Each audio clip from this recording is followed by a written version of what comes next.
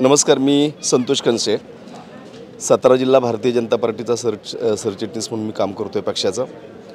दैनिक प्रभात आणि डिजिटल प्रभात या माध्यमातून सातारा जिल्ह्याच्या सामाजिक प्रश्नांवर ज्वलंत सामाजिक प्रश्नांवर आवाज उठवलेला मी अनेक वेळा पाहिला आहे. खरं तर पत्रकारिता प्रिंट मीडिया हा लोकशाहीचा चौथा स्तंभ मानला जातो.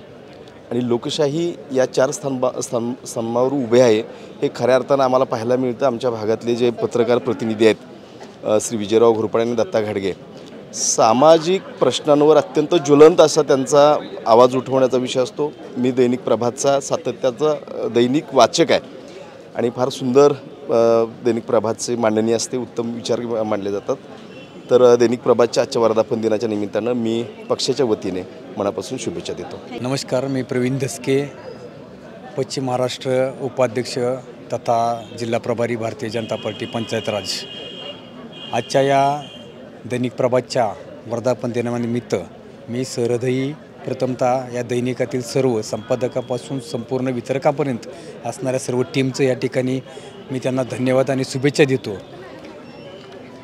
दैनिक प्रभातच्या बाबतीत बोलायचं झालं तर पहिल्यापासून वाचक तर आहेच परंतु सामाजिक आणि चालू घडामोडीवरती संपादक म्हणून कार्यकारी संपादक म्हणून काटरे सारखी माणसं जुनी जाणती या ठिकाणी त्या दैनिकात आहेतच.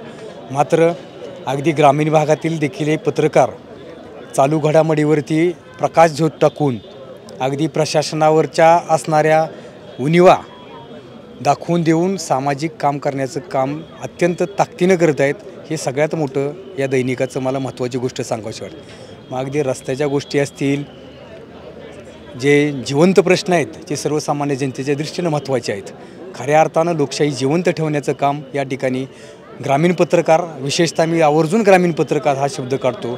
कारण शहरामध्ये इलेक्ट्रॉनिक मीडिया असेल किंवा पेपर मीडिया असेल ह्याच्यासाठी संसाधनाची सुविधा उपलब्ध आहे. मात्र ग्रामीण भागामध्ये ही संसाधनाची उपलब्धता नसले कारणानं ग्रामीण पत्रकार त्या ताकदीनं काम करतो आहे आणि ग्रामीण जनतेच्या प्रश्नावरती काम करतो. ही सगळ्यात मोठं ह्या दैनिकाचं यश आहे. एवढं मला आवर्जून सांगायचं आहे एवढं बोलतो आणि धन्यवाद.